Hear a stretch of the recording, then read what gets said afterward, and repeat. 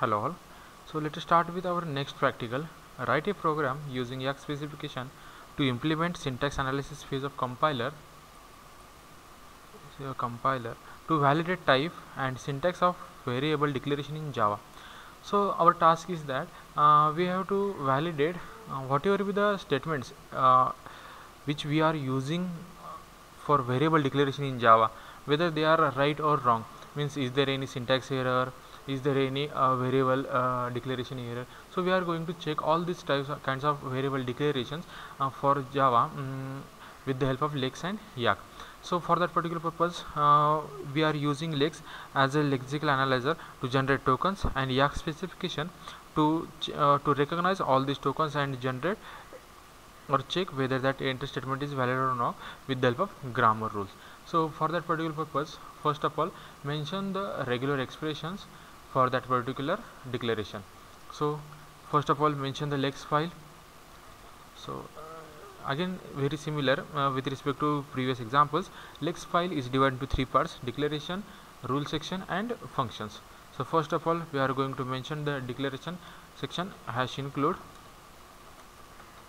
stdio.h this file is required in the c program next one is user defined file is generated by YACC file y dot tab dot h a system generated file. Next one mention the rules which are required for this particular program. So first of all uh, for example uh, first or simple variable declaration is integer a semicolon. So integer is a built-in variable or uh, data type. So we are going to mention all the data types integer float char string and so on. And we are going to return as a built-in functions. Next one. We require this new keyword if we are using array declaration. So mention as a new keyword. Next one. Opening square bracket. So return as open square bracket. Next one. Again we required return close square bracket. Next of one we require equal to operator.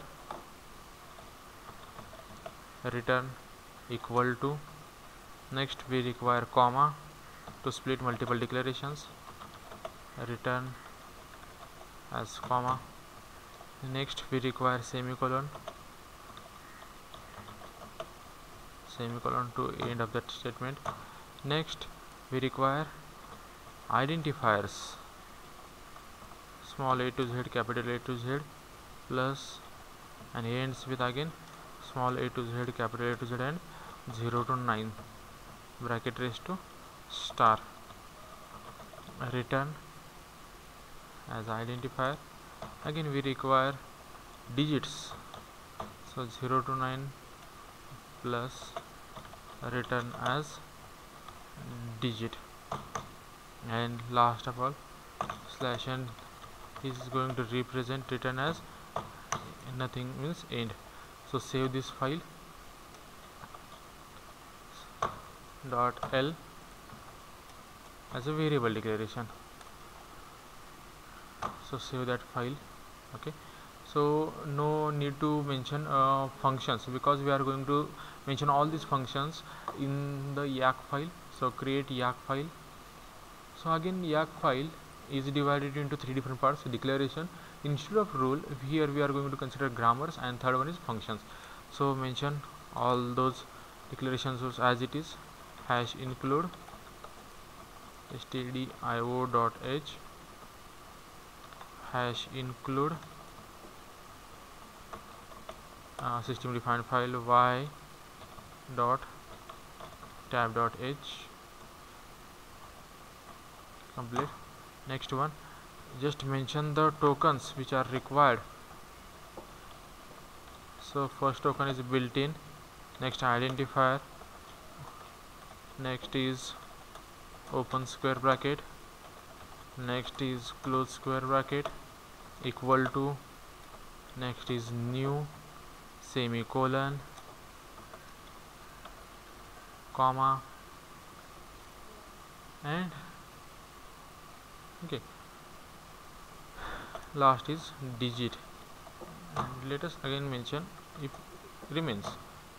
So let us start with grammar. So grammar always start with start keyword. So first of all for example integer a semicolon. Integer is uh, we have already mentioned it as a built-in function built-in a as a variable list. If suppose single variable is required so identifier is considered.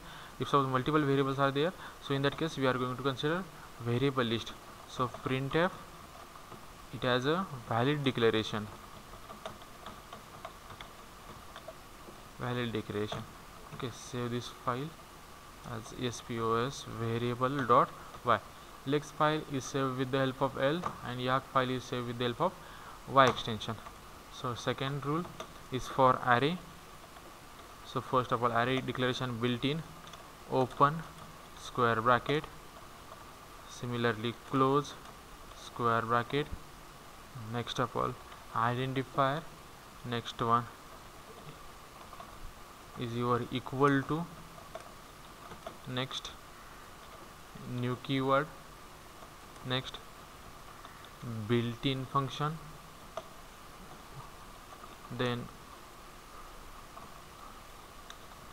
open square bracket. Inside that we require a digit. Next close square bracket.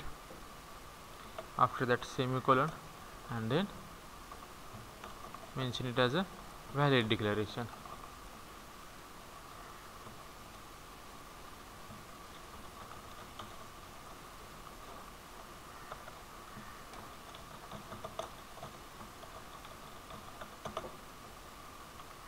semicolon so we have mentioned variable list so mention that variable list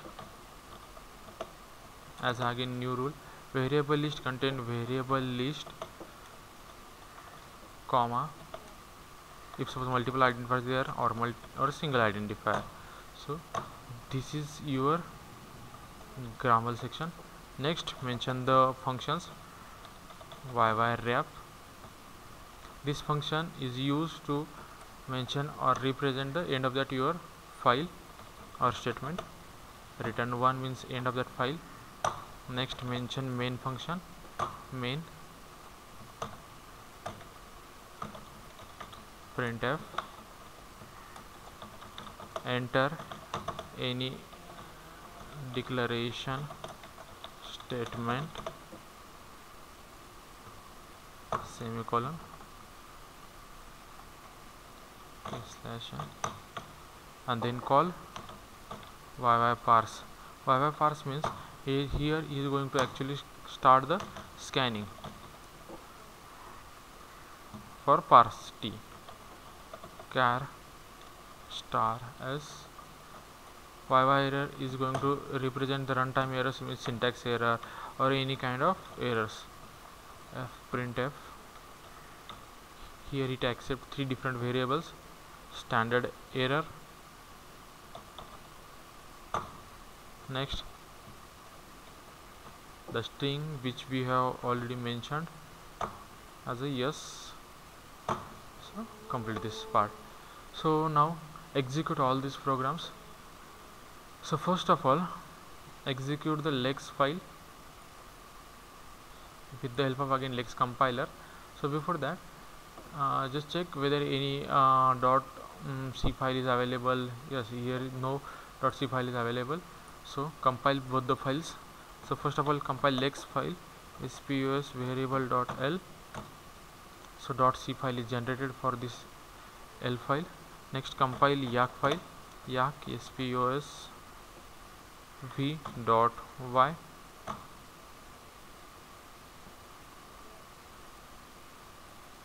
So compile the YACC file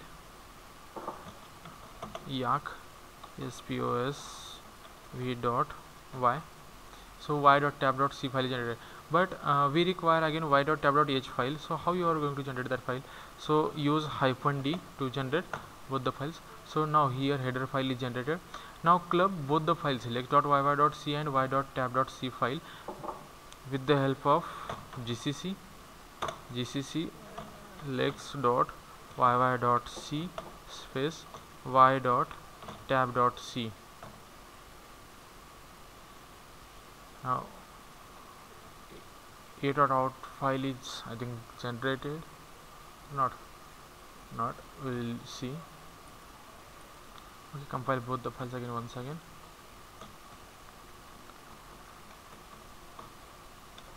Lex sv dot l. Next yak.c next gcc now a dot out file is generated. So execute that file dot slash a dot out. So enter any declaration statement. So for example integer a is the valid declaration. Again for example integer a comma b semicolon is also valid declaration. So means this particular grammar is valid for multiple declaration. So integer a syntax error because semicolon is missing so next of all uh, check for array. Integer integer a is equal to a. New keyword. Again integer open for close and semicolon. Is a valid declaration. So this particular grammar rule is valid for array also. So thank you